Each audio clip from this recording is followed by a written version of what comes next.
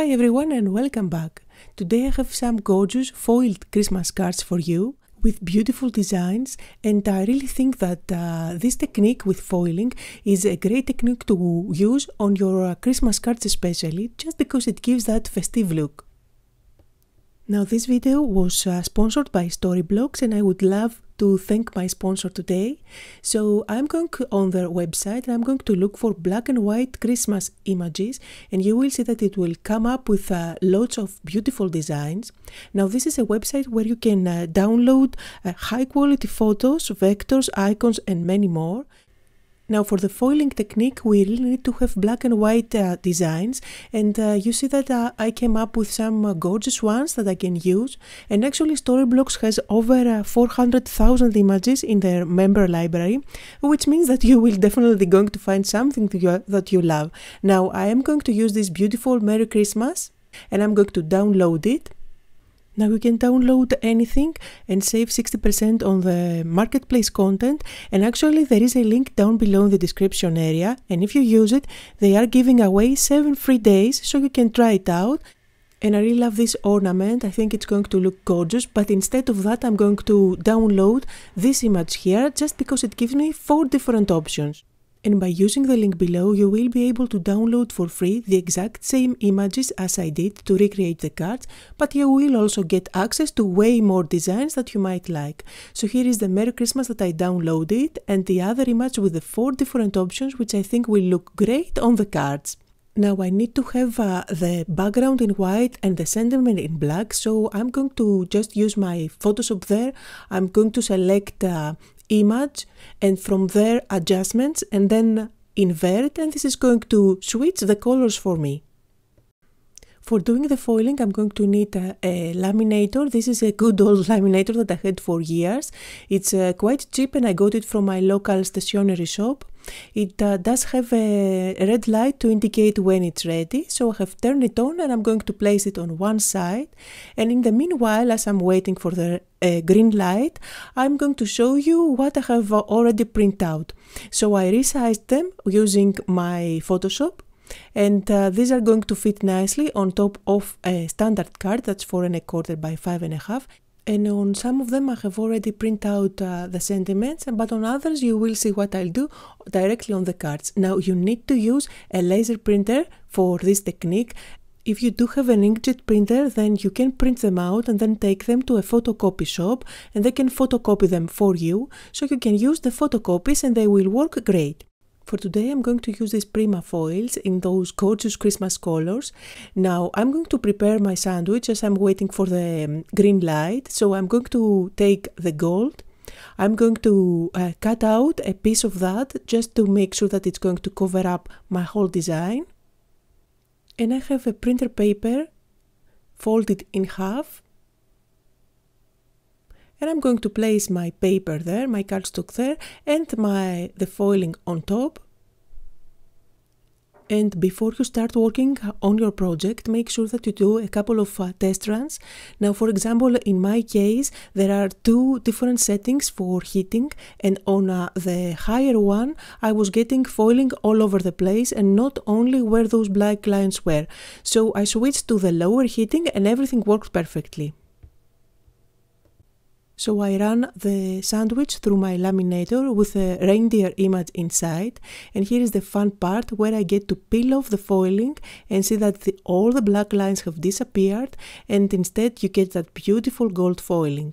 Now you can use the negative if you like, you just need to have a printed paper that is full of black. Now I'm moving on to the second design and this time I used the green foiling over the beautiful Christmas tree and here is the fun part again, where I peel off uh, the green foiling and you see the beautiful design, so elegant. Now, the more bold and solid the design that you print, the more foiling you will have on top of your paper. But uh, I decided to use these just because they look so elegant and you will see they will turn out into beautiful cards. Now, uh, as you can see, I'm going to mix two different uh, colors of foil here. So for the sentiment, I'm going with gold and for the ornament, I went with red. And let's uh, peel off the foil so you can see the beautiful result. Now, these cards are not easy to film just because I need to catch the light all the time for you to see the beautiful result, but I am doing my best. And here is another version of uh, the reindeer, this time in silver. Hope you can see how gorgeous it looks. And since I had my laminate already and all the foil on top of my table, I went ahead and uh, played a lot with different colors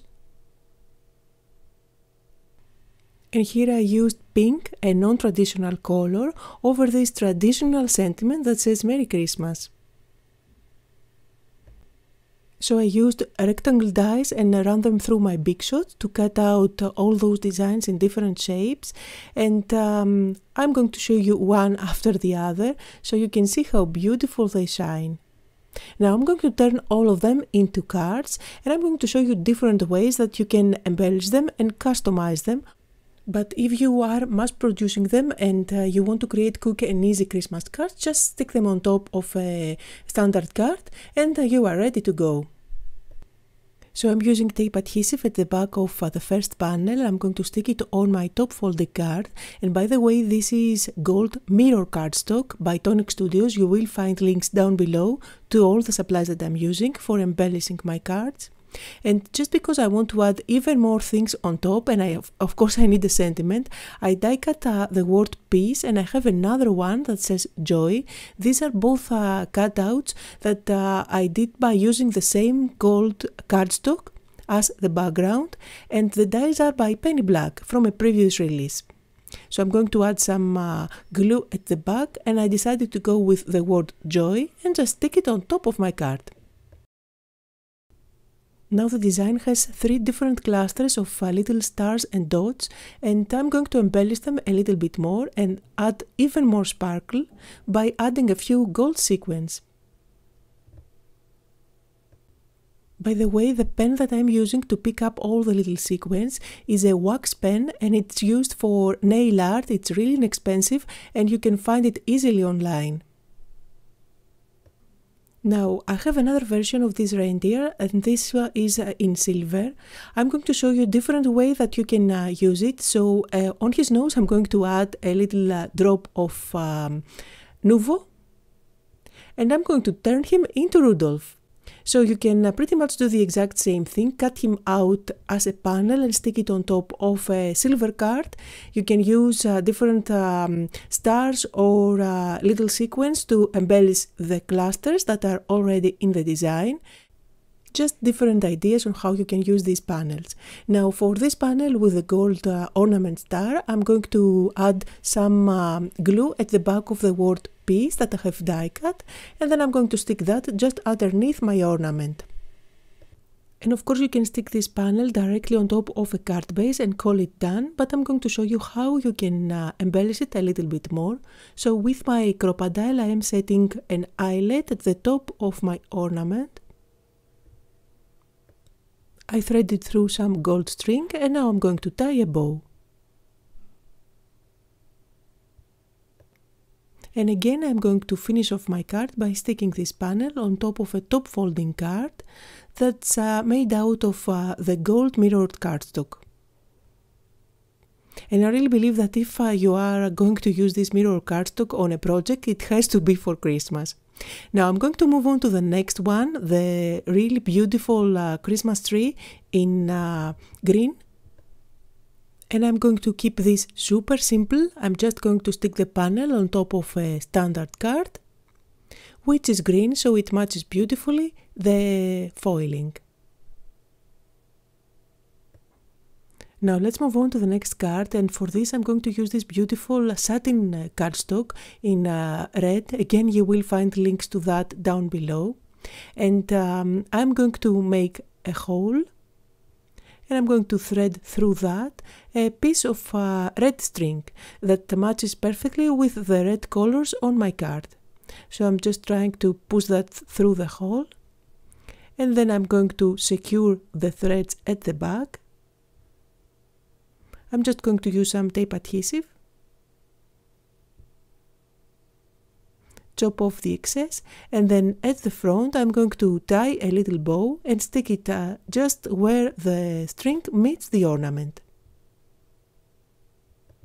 And instead of using a red thread, you can uh, think of other beautiful ways to embellish the ornament by, for example, using a ribbon in beautiful Christmas colors. I know that a gingham would look really, really beautiful in this design. And um, now all I need to do is to add a sentiment. And for that, I decided to go with a beautiful sentiment by Simon Says Stamp. This gives you the fa la la in uh, both uh, the word and its shadow. So you can place one on top of the other and especially if you are using different colors they are going to stand out even more against your backgrounds. Now for this particular project I'm not going to use a shadow, I am only going to add some uh, glue at the back of uh, the word falala and then stick it on top of my panel and no matter which way you are using your card in a portrait or in landscape this sentiment is quite big so it's going to cover up completely the whole card.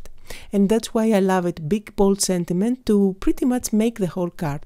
Now I'm going to stick that on top of my card base and then I'm going to use my scissors and just chop off the excess of the falala sentiment.